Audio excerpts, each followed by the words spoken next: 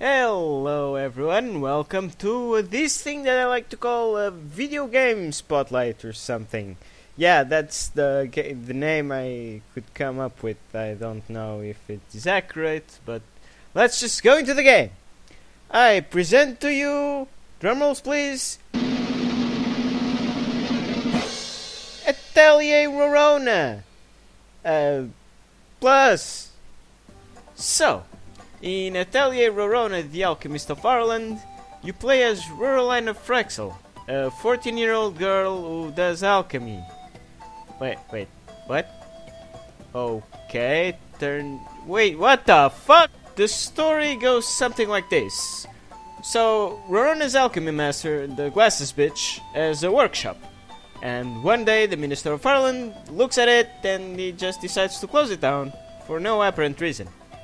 Since the glasses bitch is lazy as fuck, she's like, Yo, Rorona! Yes, master? How would you like to have your own workshop? Really? A workshop just for me? Ha! Your problem now, bitch!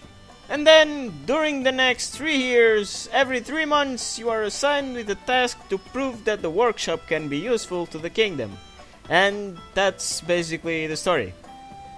All of it. Also, if you fail to complete one of these tasks, you get a bad end. Now, time is a very important mechanic on this game. Moving between areas consumes time, synthesizing consumes time and MP, and to get that MP back, you'll have to rest, which also consumes time. Later on in the game, time managing will be something like this. Exploring a zone and gathering materials will take around to 20 to 30 days. Synthesizing certain items so you can survive takes around 10 to 15 days, plus rest, which can be 4 days, plus synthesizing the required items for the task, 15 more days.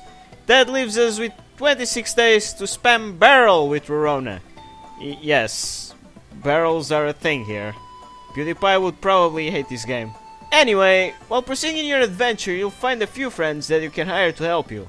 There's the Tsundere, the Cook, the Knight, the Old Man, Bart from League of Legends, the Busty Grill, the Forever Alone bitch, and the Glasses bitch. You also have some other bitches that help you with alchemy and other stuff, like Raging Alcoholic, Bold Guy, this ghost that shows up in every freaking game, and an Homunculus.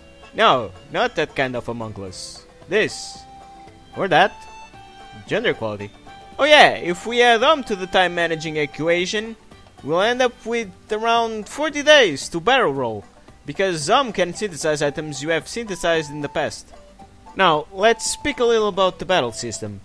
The battles on this game are highly reliant on heal and attack items. You might be able to get around without using them, but when you reach the end game, you'll wish you had made a bunch of auto alarms. Also, just synthesizing the items is not enough. Depending on what materials you use, you might get good items or shitty items. By the way, there is a dressing room where you can change Rorona and other characters' costumes, but the only important thing here is that you can change Leona, uh, the Busty Grill, to a bikini or a hot Chester suit. Whole whale jiggle physics. And to finalize, there are a total of 14 different endings. So yeah, if you wanna catch them all, you might wanna use the guide.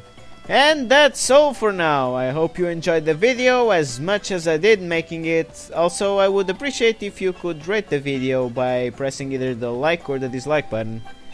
Alrighty then. See you on the next video.